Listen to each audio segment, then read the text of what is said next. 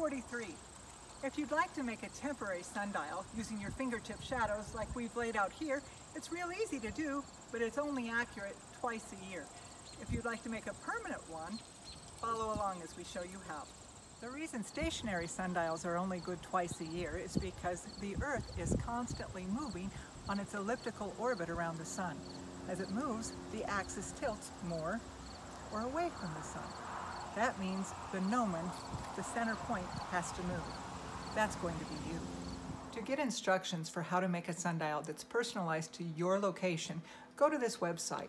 You'll determine the width, you'll put in your zip code, it will spit out all the information you need. You can even get more step-by-step -step instructions by clicking on the Instructable link. After printing off the instructions from the computer, head out to a nice, sunny, flat area. It can be your yard, driveway, or a big open parking lot. Bring along some chalk, a measuring tape, some string, marking tape, a straight edge that makes a right angle, a compass, or you can use the compass on your phone. We chose to make a 10-foot analemmatic sundial, so I'm trying to make sure we have enough room where I'd like to put it in the sun.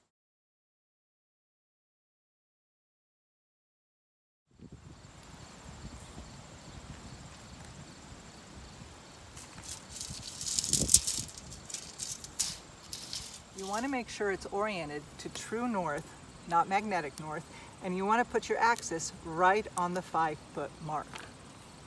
Be sure to mark your endpoints. We measured our east-west axis first because that's the larger size and our limiting factor. Now we're doing the shorter north-south axis at 3 feet 4 inches. Your computer will tell you the exact dimensions you need.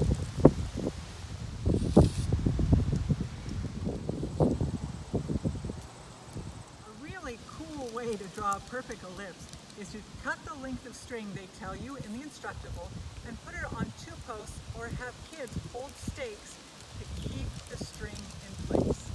Then, all you do is follow the triangle.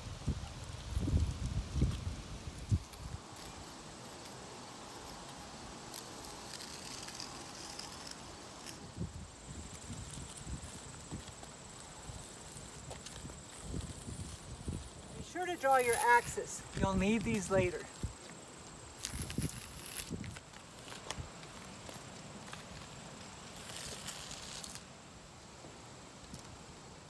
One o'clock at four and three eighths inch.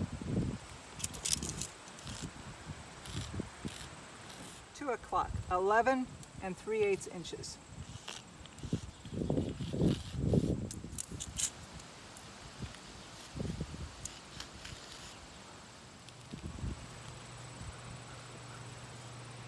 Gnomon is the vertical part of a sundial that casts the shadow where you read the time. Remember, that's going to be you in our sundial.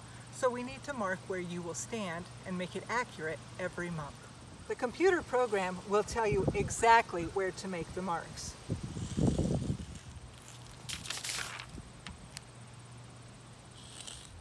Now you just mark your months. They don't go in order.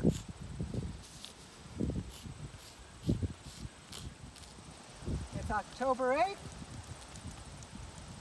12 noon.